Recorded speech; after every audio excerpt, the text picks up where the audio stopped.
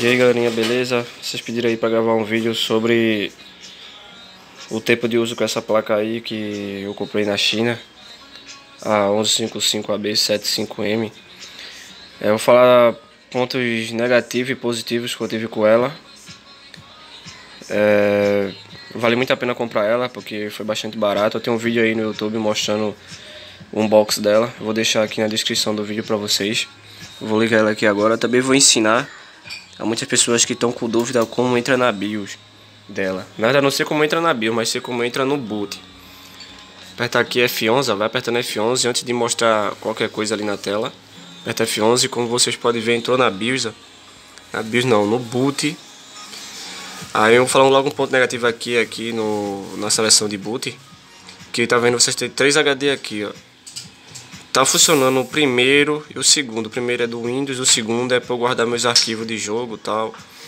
O terceiro, ele não tá reconhecendo no sistema, mas tá reconhecendo no boot, tá vendo? Eu não sei o que eu tenho que fazer aqui para resolver. Depois eu vou dar uma olhadinha para resolver. Se eu resolver, eu comento aí, deixo no comentário. Esse é o ponto negativo, não tá reconhecendo meu outro HD. Eu não sei se é o defeito do HD ou é o defeito da placa. Vou descobrir isso ainda. Mas como você pode ver, a placa tá aqui normal um mês de uso funcionando normal. Deixei aqui já aberto para dar mostrar, demonstrar a vocês. Tá, tá funcionando normal ela aqui, ó. A câmera não é muito boa para dar uma focada roxeira, mas tá funcionando normal. Tudo ok nela. O problema só é esse daí que eu falei. E depois que você chegar aqui nessa opção da, de boot, para você que entrar na BIOS, você vai ter que ir aqui, ó, Enter Setup, que se chama Setup.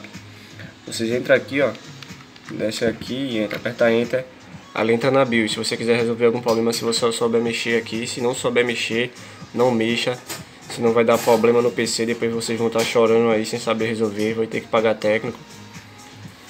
Aí não é tão difícil mexer aqui, é só para quem sabe mexer mesmo. Não é tão complicado, mas não é bom não mexer para quem não sabe. Aí você vou sair normal. Então bem galera, queria falar uma coisa aqui sobre relação a essa placa de vídeo aqui, ó. Acho que vocês conhecem ela, que é a da marca PCS, acho que é assim que fala o nome, PCS. Falar assim, PCS. Essa marcazinha aqui, essa aqui é uma GT 430 2GB. O problema que eu quero falar dela é que ela eu tô jogando tal, ela chega aos 2 de, de RAM, tá ligado? Aí ela cresce o jogo todinho, tá crescendo o jogo. Aí o que eu fiz com ela? Eu tentei pesquisar na internet e tal, coloquei uma BIOS diferente, ela ficou com a tela toda bugada. Aí não prestou. Aí eu coloquei a outra da GT, GT 550 Ti, aí deu problema, deu tela escura. Aí deu problema na BIOS dela. Aí eu comprei o tal do EPROM BIOS, acho que vocês conhecem, que ele faz um tipo uma regravação de BIOS para quando acontece isso que a tela fica escura. Eu comprei na Shop, nunca comprei nessa loja, comprei nessa loja mal assombrada aí para ver se chega. Eu, se chegar, né, já é um ponto positivo para loja aí, quem sabe eu posso comprar. Ela tem frete gratuito aí você está ligado.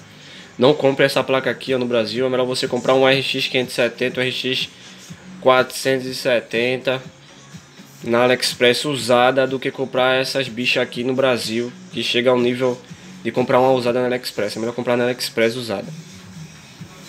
O PCI Express, pessoal, tá pegando aí da placa de vídeo, tá pegando do SATA normal, das memórias RAM, tá pegando, tá tudo ok, sem nenhum problema. Outro ponto que aconteceu, que eu fui colocar, ponto negativo, que fui colocar um Android Prime OS. É um sistema Android que vocês, muita gente conhece.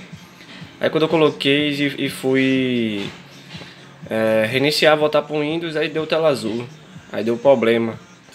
Aí eu não gostei disso tal, eu tive que formatar o PC, não quis resolver de ponta a ponta para ver como é que resolvia, formatei logo. Formatei, perdi meus arquivos, não tem problema, não tinha nada de interessante.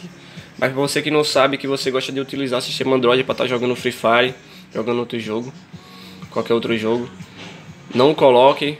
Ou se você quiser arriscar, se você souber formatar seu computador de volta, resolver o problema, coloque e veja se no de vocês der certo. Se der certo no de vocês, comenta aí embaixo.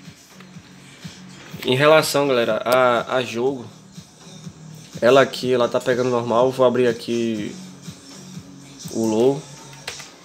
Consigo rodar no meu i3 aqui tranquilo, low a 60 fps, que eu deixo cravado no 60, não preciso estar tá querendo ganhar muito frames aí, porque sabe como é que é. Mas a placa tudo ok, pessoal, um mês de uso, tá muito boa, sem nenhum problema. Vou testar uma placa de vídeo futuramente, quando o dólar baixar mais para 4 reais, eu vou comprar uma placa de vídeo para colocar nela para gente fazer o teste. Vamos ver como é que ela se sai. E espero que ela dure até lá também, né? até 2021 para lá. Comprei agora recentemente aí um um fone um fone massa é um G23 da Fan, Fanetic, acho que é assim, Fantech. Aí tô esperando chegar. Não vai demorar muito não pra chegar não. Aí quando chegar eu vou fazer o unboxing aí pra vocês. Fone massa RGB e tal. Mas resumindo tudo pessoal, tá tudo de boa a placa. Não tem nenhum problema. Pega jogo normal, emulador. Pega também, eu tô usando aqui ó, o BlueStack, como vocês podem ver, eu uso ele para jogo. Tá tudo ok pegando, vale a pena comprar pelo preço, porque no Brasil uma placa dessa você vai gastar 500 no mínimo. É, tipo isso, 500 ou mais.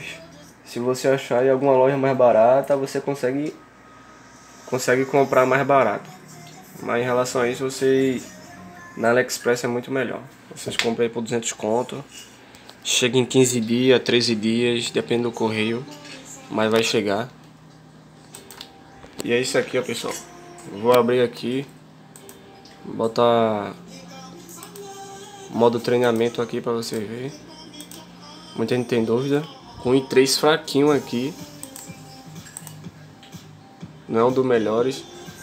Futuramente acho que eu vou comprar, sabe o que, galerinha? Pra deixar top aqui um i7 acho que ele é 3770 aí tem o K e tem só o 3770 acho que é assim vou colocar ele para colocar aqui nessa placa ver se ele vai funcionar. Eu ia colocar o i5 vamos ver que na AliExpress o i5 tá por 200 e o i7 tá por 500 mas ele pode baixar mais chegar né quando o dólar baixar. Hum, vou ver não tô garantindo que vou fazer isso não. Mas como você pode ver aqui ó tô com um tecladozinho beira de feira que vocês conhecem, que é o um tacadinho aqui de tem algum lugar que é 20, que é 15 conto, mousezinho fraquinho, mousepad fraquinho. Vou comprar um daqueles que acende assim na lateral, que vocês estão ligados qual é. Teclado mecânico, vou comprar o kit, depois eu faço um box dele aí, vou mostrar o kit qual é futuramente. E já comprei o fone. Comprar os periféricos devagarzinho para futuramente migrar para o DDR4 comprar os periféricos, depois compro o DDR4. Eu pulo pro DDR4 futuramente. Mas quando vocês podem ver, galera, tá pegando normal, jogo tudo. E esse aí é o vídeo, pessoal. Espero que vocês tenham gostado. A placa é muito boa, muito positiva ela. Espero que vocês não encontrem muita coisa negativa nela. Mas ela tá funcionando normal. Espero que vocês tenham gostado. Se inscreve no canal aí se vocês quiserem. Dá o dislike se não gostou do vídeo ativa a notificação e espera aí mais vídeo que eu vou lançar aí pro canal. Tamo junto, valeu, é nóis galerinha.